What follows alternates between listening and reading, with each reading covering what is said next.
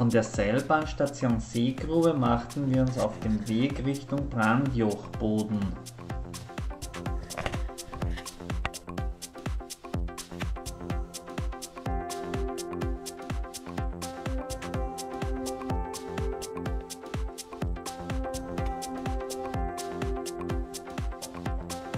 Nach zwei Stunden Zustieg erreichten wir den ersten Gipfel, das Brandjochkreuz.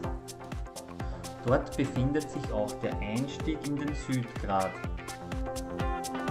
Dieser beginnt als leichter Fels- und Wiesengrat.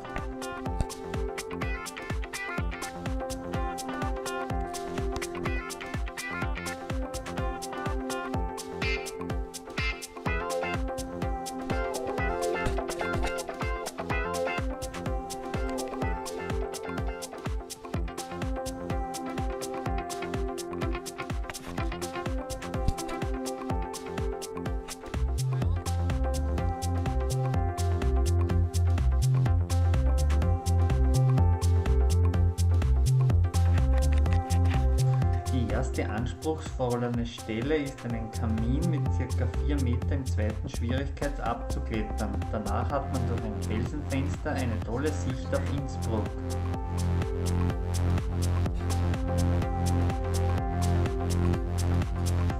Danach erreicht man die Schlüsselstelle der Tour, einen Kamin im Schwierigkeitsgrad von ca. 3 minus.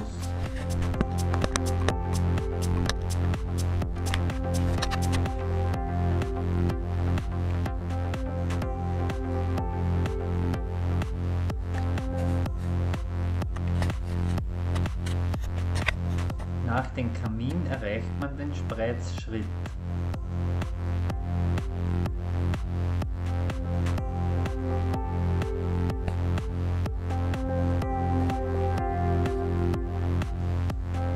Nach dem Spreizschritt ist noch einmal eine kurze Platte zu überwinden, danach sind die Schwierigkeiten vorbei.